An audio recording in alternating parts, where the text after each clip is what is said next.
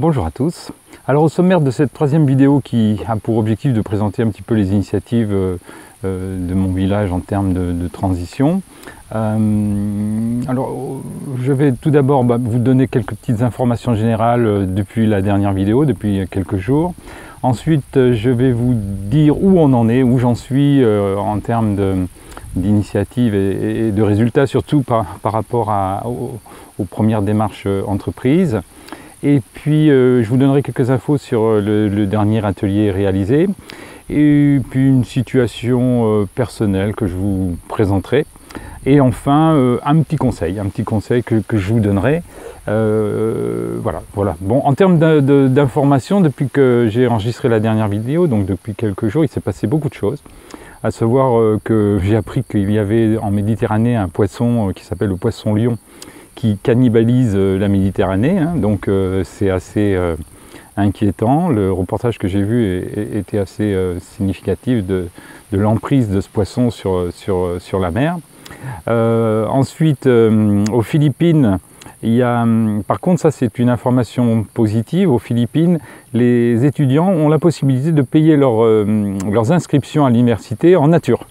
Alors bon, c'est pas la nature euh, telle qu'on le présente habituellement, mais là c'est la possibilité pour eux, pour éviter de, payer en cash, c'est de, planter quelques arbres. je pense que c'est une initiative qui est assez intéressante, le fait de payer en nature comme ça, en, s'impliquant, en impliquant des jeunes, on pourrait l'imaginer d'ailleurs pour les moins jeunes. Hein. Voilà. Euh, une petite, euh, disons, virgule humoristique que j'ai entendue. Bon, ça vous le savez, il y a près d'un million d'espèces sur les 8 millions euh, d'espèces sur la planète qui est en, voie de disparition. Et, par contre, il y a une espèce qui, elle, n'est pas en voie de disparition, c'est l'espèce de con. Bon, voilà, vous le prenez comme vous le voulez.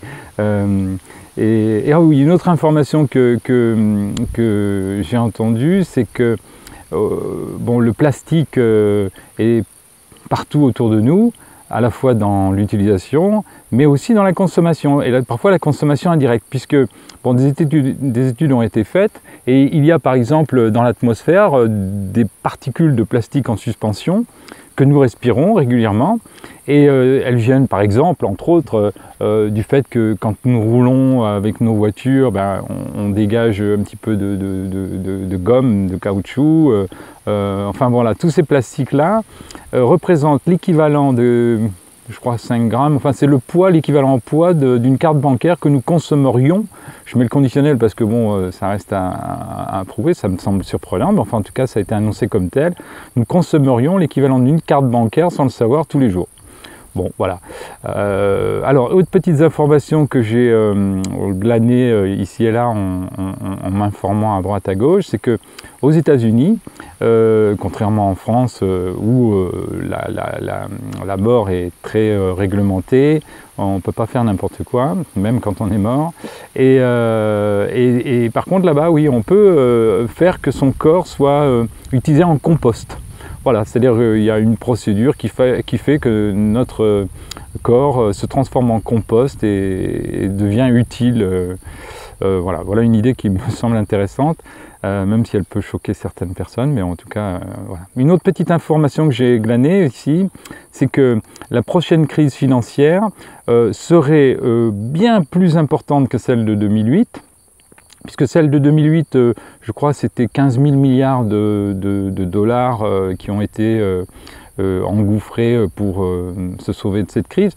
là, on serait, d'après les experts qui estiment, par rapport aux bulles qui se préparent, un, positionnement en termes de déficit euh, de 254 000 milliards d'euros. alors donc le chiffre est précis, hein, ça semble surprenant, bon, bon je ne sais pas comment ils ont fait leur calcul, mais en tout cas voilà des, informations qui sont euh, euh, là aussi à mettre au crédit de, l'effondrement.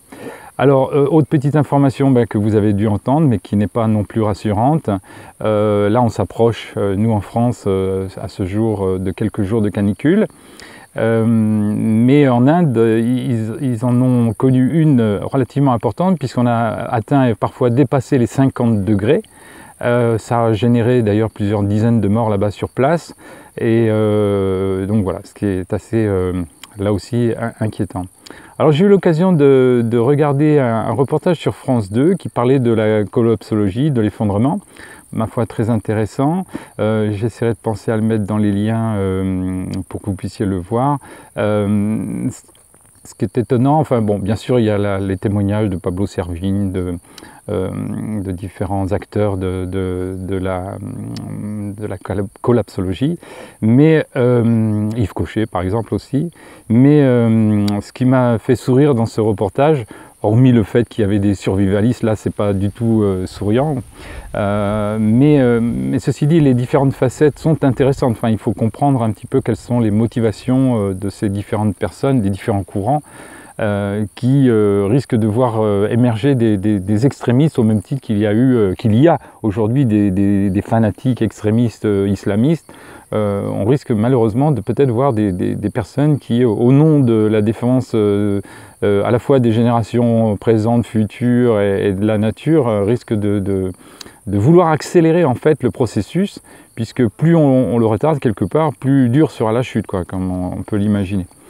Et dans ce reportage, il y avait une chose donc euh, amusante, c'est qu'il y avait un groupe sur Facebook qui est attaché aux rencontres. C'est-à-dire que bon, la collapsologie, l'effondrement, c'est vrai qu'à titre personnel, moi j'en souffre, le mot est trop fort, mais c'est vrai que j'ai beaucoup de difficultés depuis des années, ça fait 20 ans maintenant pratiquement que, que j'ai créé le site Scénario Catastrophe en, je sais pas, 2002, 2003, je ne sais plus exactement, enfin en tout cas il y a, très longtemps, et, euh, donc j'avais perçu à, ce moment-là, euh, euh, c'est le pic de Uber, hein, l'effondrement à venir de le pic pétrolier, donc l'effondrement à venir des ressources euh, pétrolières qui, qui m'avait donné la puce à l'oreille. J'avais fait l'inventaire un petit peu toutes les, les, comment, euh, les, les, risques, on va dire, qui, qui, pesaient sur nous. À, la fois, euh, bon, c'est pas un inventaire non plus qui était formidable à trouver, mais c'est vrai que l'ensemble de ces éléments laissait à penser qu'on allait vers un système d'effondrement. Moi, à l'époque, je l'avais appelé scénario catastrophe, mais la finalité, finalement, est la même. Et donc, dans ce reportage, on voit des collapsologues qui expriment, comme, je le fais là, en, disant que c'est très difficile de, parler euh, à ses proches, même personnellement à, mon épouse, même à, mes filles, euh, ou, même certains, enfin un, de mes garçons, c'est très difficile d'en parler parce que euh, c'est gênant, ça, perturbe, c'est, il y a un déni peut-être aussi, alors que beaucoup de psychologues vous diront que peut-être euh, bah, il faut crever l'abcès, il faut mieux en parler plutôt que de ne pas en parler, de mettre la poussière sous le tapis, comme on dit, c'est pas forcément une bonne chose. Donc ces, collapsologues, euh, appelons-les comme ça, ont, organisé un, club de rencontres et ils se rencontrent entre eux. Bon, voilà, c'est assez euh, surprenant et, amusant. Alors, donc euh, maintenant, où on en est de la transition pour le village euh, donc je vous rappelle les, faits. J'ai souhaité euh, monter une liste pour laquelle d'ailleurs j'ai bien précisé que je ne souhaitais pas être euh, tête de liste. Hein. Je, pense qu'il était préférable qu'il y ait une personne plus jeune, plus adaptée à réussir ce projet. Et, et j'ai contacté 25 personnes qui me semblaient être des personnes susceptibles d'être intéressées. Ou... Alors bien entendu, euh, ces personnes étaient, euh, je ne connaissais d'ailleurs pas pour la plupart euh, leur étiquette politique. Hein. Ce qui m'intéressait, c'est qu'elles puissent s'investir. L'idée dans un projet de transition, c'est que les personnes soient issues aussi bien de droite que de gauche. le fait est que demain, en situation de grande difficulté, ce seront avec nos voisins que nous allons devoir travailler on, va devoir être solidaire, quelle que soit euh, l'origine, entre guillemets, ou, les convictions de nos voisins, qu'ils soient euh, euh, au Front National ou qu'ils soient chez les Insoumis, peu importe, on, oubliera ces, éléments-là pour, pour être solidaires entre nous. Comme pouvaient l'être, par exemple, hein, ceux qui ont débarqué lors du, 6 juin en, Normandie. Ils ne seront pas demandés si, leur leurs euh, voisins euh, parachutistes euh, étaient de, par exemple, de, je sais pas, mormons, juifs, Jéhovah ou, musulmans, peu importe, c'était pas le, problème. Donc en fait, alors, le résultat de ces différents contacts Alors j'ai fait un, courrier. pourquoi j'ai fait un courrier? C'est parce qu'il me semblait important euh, de bien préciser sur ce, sur ce courrier euh, les tenants, les aboutissants, les règles. Hein. Je, souhaitais que euh, la liste ne soit pas critique vis-à-vis des éventuelles autres listes. il fallait construire, c'est l'idée. Et le problème, c'est qu'en fait, ben, sur les 25 personnes contactées, aucune personne n'a donné suite favorable à la proposition. Euh, alors bien entendu, j'ai eu dans un premier temps un petit, peu, un honte de moi. Enfin, en tout cas, je me suis dit, euh, euh, là, tu n'as peut-être pas réussi à faire ce qu'il fallait. Enfin, c'était peut-être la démarche, la façon de, contacter les personnes qui n'étaient peut-être pas appropriées. En tout cas, le fait est que j'ai reçu quelques réponses tout à fait polies. Euh, des réponses aussi d'encouragement. Hein. Donc chacun, enfin chacun, pas tous, puisque la majorité n'ont pas répondu, mais en tout cas pour ceux qui, ont répondu, euh, il y avait une forme d'encouragement, il y avait une forme de, de, comment, de respect de la démarche, etc. Mais, mais euh, à chacun avait ben, des raisons, parfois très justifiées, hein, de toute façon, hein, c'est vrai.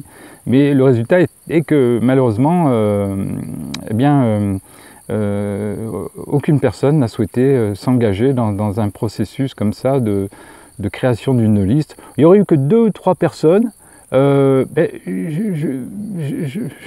voilà, ça aurait pu être un, un début. C'est-à-dire qu'à partir de 2-3 personnes, un petit noyau, nous aurions pu essayer ensemble de, de, trouver une quatrième personne, et puis ensuite ensemble une cinquième, faire de la cooptation. En fait, le principe, c'est de la, de, la, de la, démarche en, spirale, c'est-à-dire qu'on on, part d'un petit noyau, puis après on l'agrandit par, la, par les connaissances des uns des autres. Quoi. Bon, là, euh, étant donné qu'il n'y avait eu aucune réponse, euh, c'est cogité euh, très vite. Et puis là, je me suis dit, bon, ben, euh, c'est pas possible, c'est impossible de, parvenir à, un résultat. Donc, bien, ce que j'ai fait, comme j'ai eu connaissance que le maire actuel de, notre village avait donné, disons, la délégation à un de ses colistiers, en tout cas un de ses conseillers municipaux, pour monter une liste en vue des prochaines municipales. Alors, la liste du maire actuel est plutôt une liste, on va dire, le maire est plutôt quelqu'un euh, de droite, mais euh, il a souhaité dans sa liste euh, actuelle avoir des personnes de tous horizons, et je sais qu'il y a des personnes qui sont, au moins en tout cas une personne, euh, qui, est de, gauche. Donc euh, en fait je pense que dans un petit village, peu importe, l'étiquette n'a pas de sens. Quoi, fait, euh, et je pense que la personne qui est en charge de créer cette future liste aura à cœur, en tout cas je l'espère, de, s'entourer de personnes qui soient issues de, de, toutes les mouvances, de toutes les sensibilités. Bon, sur ce, ben, je lui ai envoyé euh, là aussi un petit mail. Alors peut-être que là aussi j'aurais peut-être pu faire une démarche euh, euh, orale, mais je, lui ai envoyé un petit mail en lui disant voilà, j'avais envoyé un mail à 25 personnes. Je lui ai joint le mail de, ce que j'avais envoyé. Hein. donc il a eu précisément le, message que j'avais envoyé. Et puis en lui disant bah, que, étant donné le, résultat, j'étais prêt, s'il le souhaite, à, participer à, sa liste pour pour qu'il y ait au moins dans, la liste euh, qui a quand même les plus grandes chances de, probabilité de, réussir, qu'il y ait quand même euh, une personne euh, comme moi qui, puisse représenter la sensibilité de ceux qui croient dans l'effondrement et en tout cas de ceux qui pensent qu'il faut préparer les villages à, une forme de, transition. Quoi. Donc, alors j'ai eu la bonne surprise dès le lendemain, j'ai envoyé le mail un, soir, donc c'était il y a 2-3 jours, deux jours, et dès le lendemain, donc hier, hier matin, euh, euh, comment, Monsieur Boussier, donc euh, il n'y a pas de secret, hein, c'est le futur éventuel maire du village, m'a contacté en, me disant que on est à 9 mois, on est dans un petit village de 1000 habitants, mais qu'il aurait, je dis au conditionnel, qu'il aurait déjà constitué sa liste, donc euh, ce qui en fait par, euh, euh, déduction m'écarte un petit peu de l'idée de, faire partie de, ce collège. Et, par contre, il m'a proposé et, ensuite dit qu'il souhaitait que nous collaborions ensemble, que les projets de transition faisaient partie de son, projet global. Donc, voilà. Je ne sais pas ce qui va en être. Donc moi, je vais continuer pour ma part à, réaliser ben, dans la mesure du possible les, ateliers. à cette petite, petite comment dirais-je, réserve que malheureusement le, succès euh, que j'ai connu avec la, proposition de création de, listes en vue des prochaines municipales, euh, qui a été un véritable échec, euh, est aussi en parallèle d'autres échecs. Par exemple, j'avais prévu, il faut savoir, je, vous rappelle que, que j'ai une liste de presque 400 mails. Enfin, officieusement, j'ai presque 400 mails, même un peu plus. Et comme il y en a qui, peut-être n'aboutissent pas, en fait, j'ai 300, euh, en gros 350 mails peut-être euh, qui sont opérationnels. Et euh, donc ça fait quand même un certain nombre de personnes. Alors ces 350 mails ne sont pas uniquement sur le village. Hein. il y a beaucoup de personnes parmi toutes ces, personnes contactées qui font partie des villages avoisinants. Donc ça fait quand même du monde. Et, et j'avais proposé donc pour la fin de ce mois d'organiser un, pique-nique avec la, possibilité d'envisager de, faire de la cuisine solaire. Bon, et pour ça, j'ai réalisé un, cuiseur solaire. Enfin, j'ai commencé à le réaliser. J'aurai l'occasion de, faire un euh, une petite vidéo là-dessus quand il sera finalisé. Et, euh, mais voyant que là aussi, il n'y a pas eu une seule personne qui s'est euh, euh, porté volontaire, enfin qui m'a appelé ou qui m'a envoyé un message, un mail en disant oui ça m'intéresse, parce qu'à chaque fois je précise bien entendu que pour tel ou tel atelier, euh, bah, il faut, euh, pour, pour, des raisons d'organisation, de préparation, préciser si, si, si et pour, avoir aussi pour les personnes qui souhaitent venir des renseignements complémentaires. Donc je souhaite qu'à chaque fois les uns les autres puissent se signaler, se déclarer pour, comme étant participants à la à l'atelier. Donc n'ayant pas eu là aussi euh, aucun, aucun retour, euh, ben, j'ai renvoyé un mail à tout le monde en disant ben, désolé, mais euh, l'atelier sur la cuisine solaire et donc sur l'utilisation d'un cuiseur solaire n'aura pas lieu et sera repoussé, bon, disons on va dire au calendrier grec. Hein, enfin bon. Alors, bah, effectivement, alors là aussi, je, je, je m'en veux aussi peut-être par, par, par une, un manque d'efficacité, peut-être par, par peut-être une personnalité clivante, peut-être par le fait que, que la thématique n'intéresse peut-être pas un grand nombre de personnes. En fait, moi je crois surtout que c'est parce que les, les, gens, d'une façon générale, ne sont pas à la fois informés sur les, événements à venir. Hein, je suis en permanence à titre personnel, bon, ça fait partie de mes centres d'intérêt bien sûr, au même titre que d'autres peut-être euh, s'intéressent au foot ou au tennis ou, euh, euh, je ne sais quoi, ou au théâtre. Bon, en ce qui me concerne, je, m'intéresse beaucoup à ces phénomènes d'effondrement. Quoi.